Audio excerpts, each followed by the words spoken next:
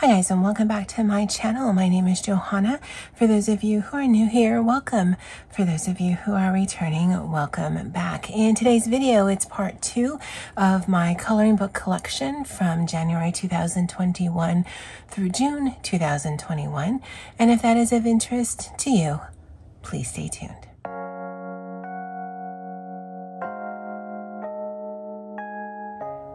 Okay, so in the last video, I will create a playlist, and so it'll be in the description box below of my collection video series. But in the last video, I did end with this. This is my long-term uh, collection reference book. This is a Maisie Lane Co.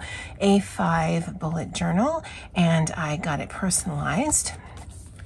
And what I'm doing is I am tracking certain things that I don't necessarily want to have in a variety of books that are year specific. This is just going to be ongoing. So just to recap, it's got my reading log, um, just some cute little things I've done, books that I reread, movies that I've seen, and generally that's movies on TV. I'm not about to go to a theater.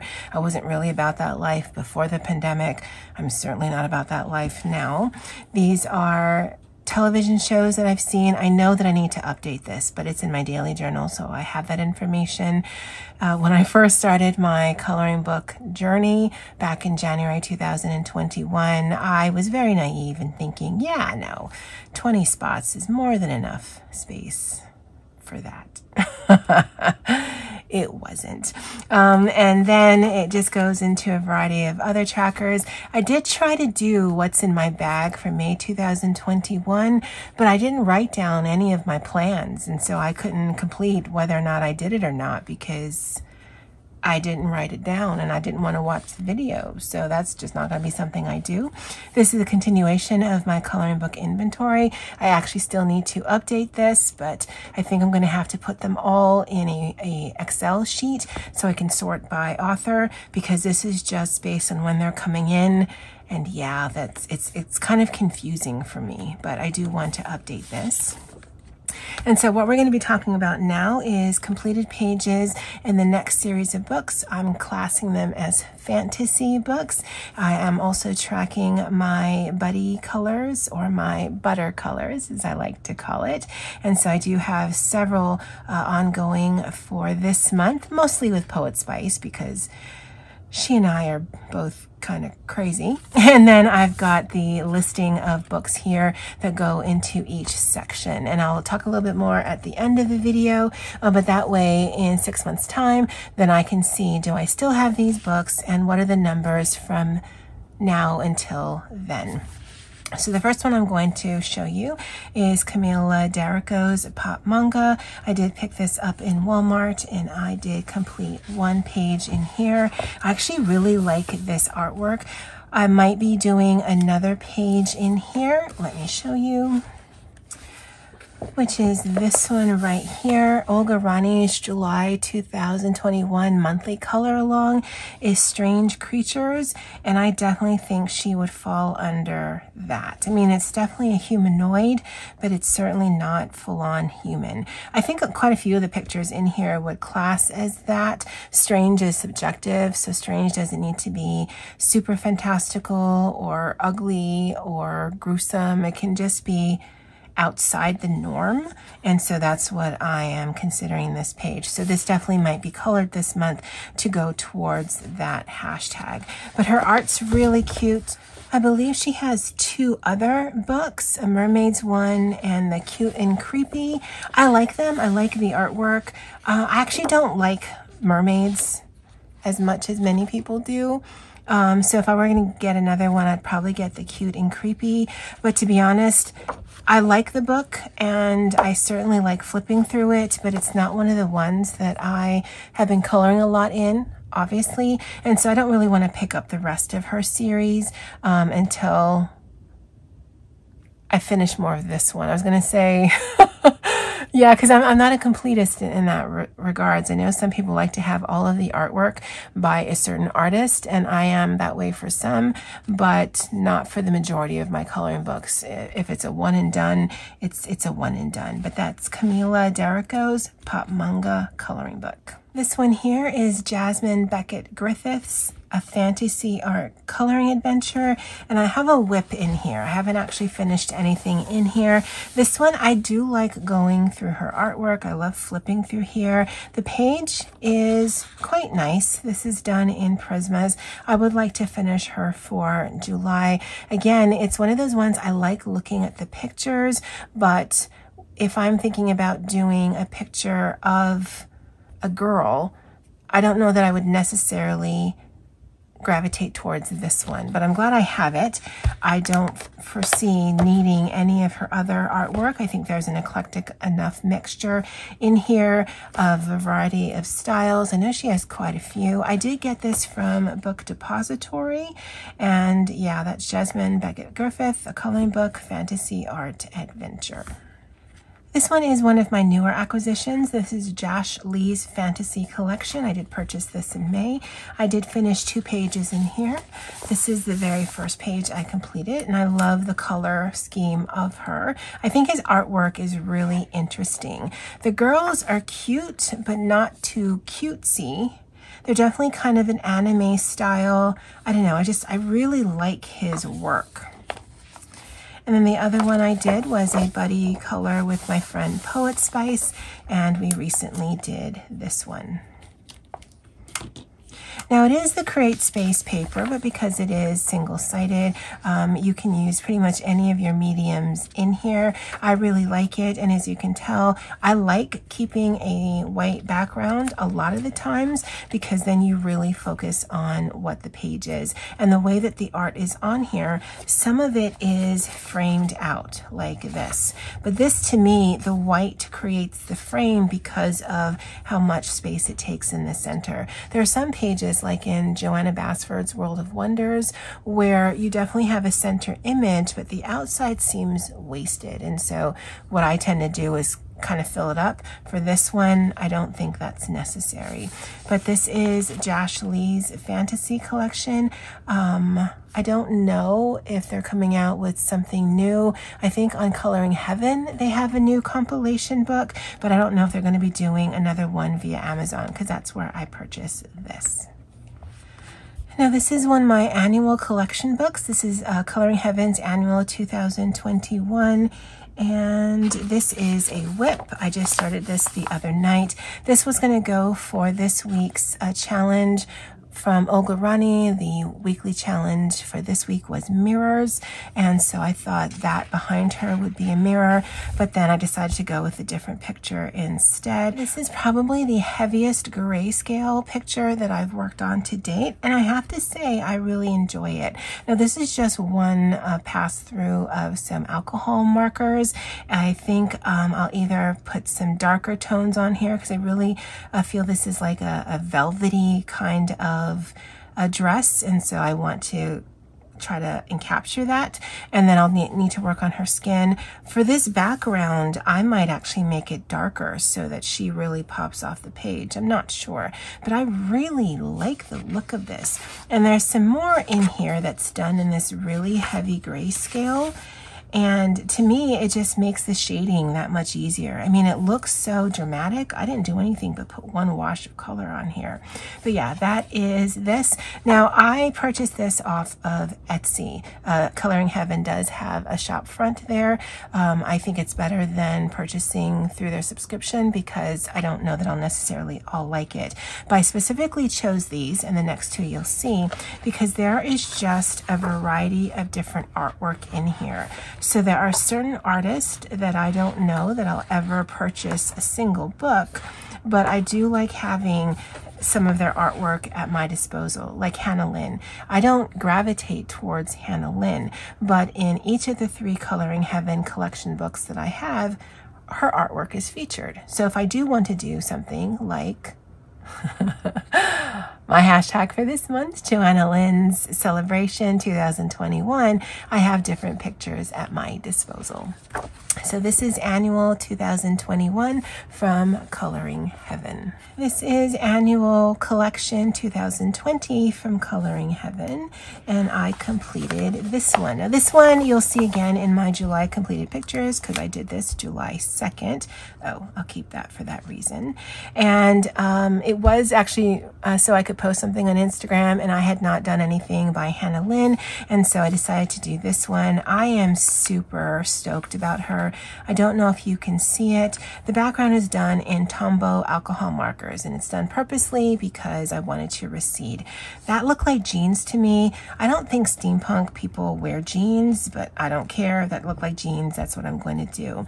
Uh, I do like this kind of really lime green, vibrant, uh, chartreuse color and so I did that and then I was only going to do her little flounce area here in the Kirarich, which is a highlighter that has glitter in it, but it looks so cute. I put it on everything. I put it on her skin. I put it on her hair.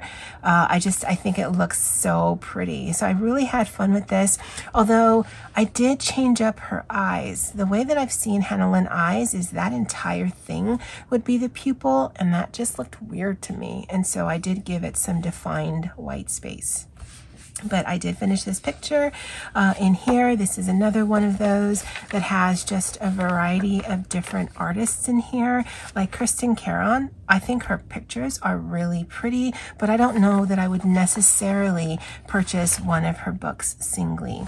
Now, uh, when I was doing my haul of this book, I said that this was my least favorite, but with how the other super grayscale one is coloring out, this one might actually come out really nicely. So yeah, it's I'm a little bit more intrigued by it than I was. But that's this Coloring Heaven collection, annual 2020, and that's by the Coloring Heaven company. I think they're Anth Anthem Publishing.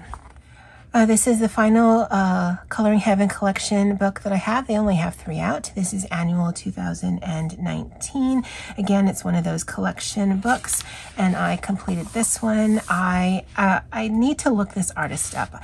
It's Zan Von Zed because I really like the look of his girls. They're not super cutesy, and I, I kind of like that. Like this is Selina Fenech. I don't own any of her books. And I just, I don't know, that that's a mermaid I could get next to. I think I think they're just really interesting looking girls. But then there's some Hannah Lynn in here. There's some White Stag. There's just a variety of different images. Kanoko Egusa, um, I think it's like the miniatures or, or whatever. I don't plan on owning any of those books either, but I have the artist, so just in case there's a hashtag I want to participate in, I could still do it. So that's annual 2019 from Coloring Heaven, one of their collection books. This was part of my subscription. I actually did sign up for a three month subscription. I have since canceled it.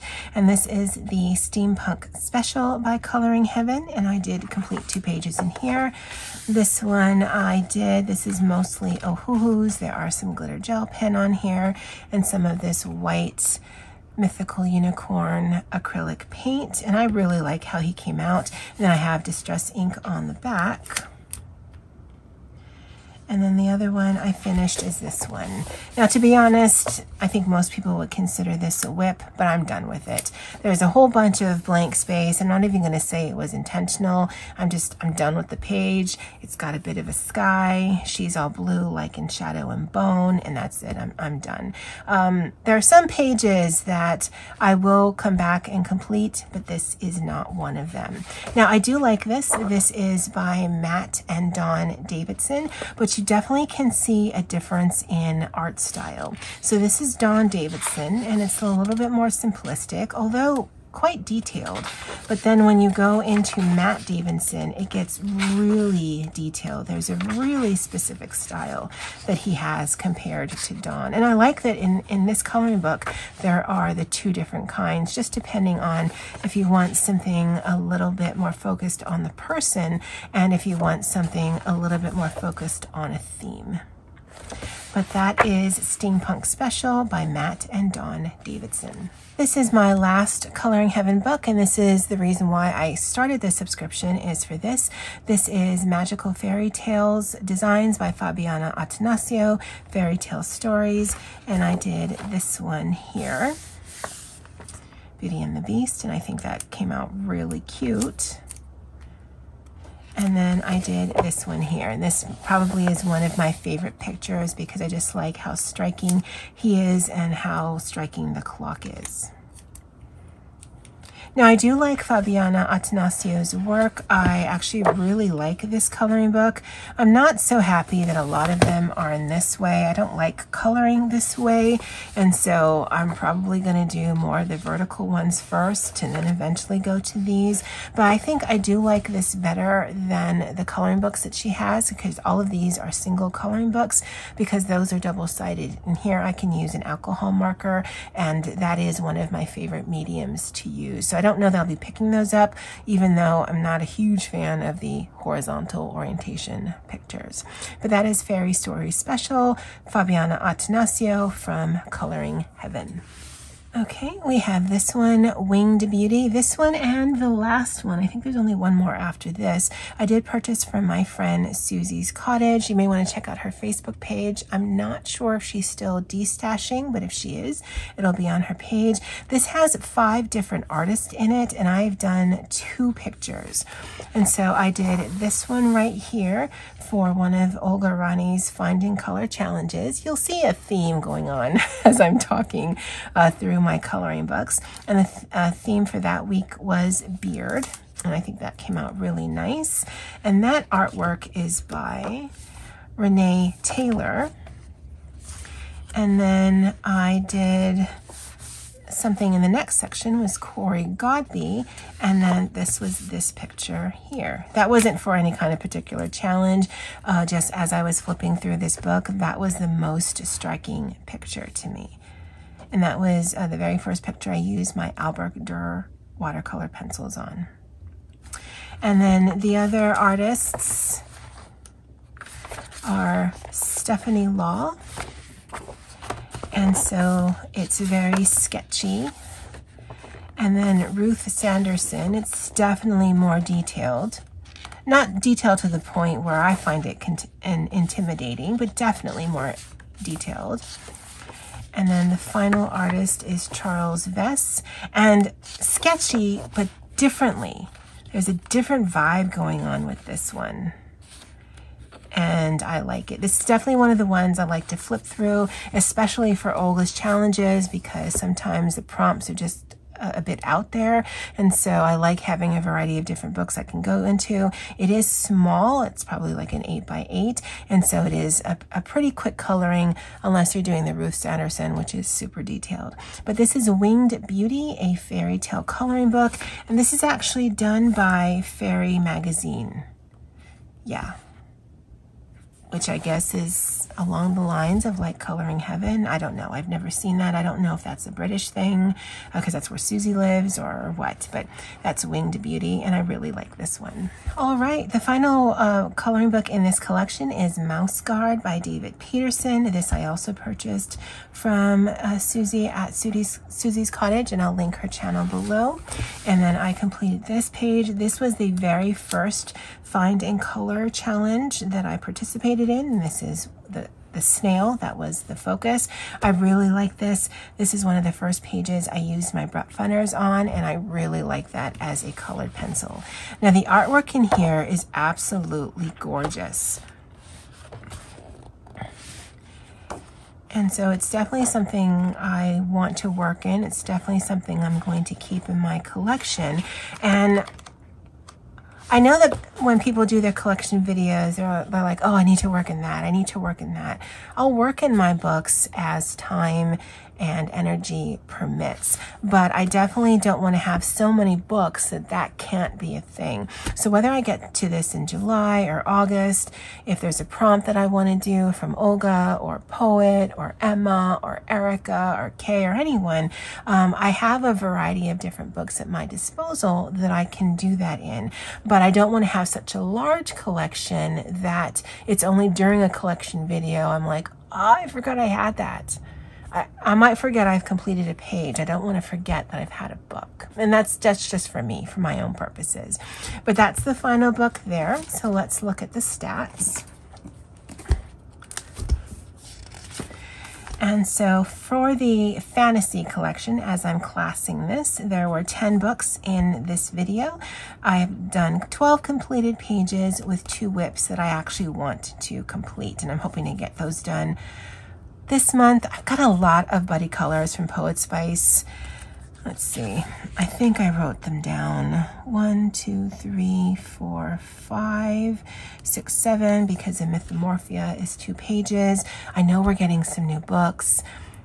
We might do more. And it's not like a buddy color where I have to get it done in July. These are just pages we have earmarked that we want to color together. Whether we get them all done by this weekend, whether we get them all done by who knows, we've, we've done that focus. With my other butter colors this month, I'd like to get them done by the end of the month. That's just, that's just my goal.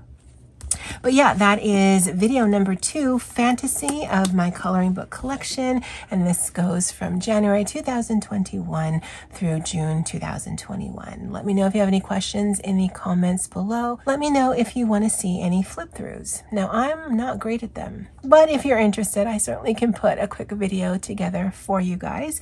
That's it for me for now. And as always, aloha.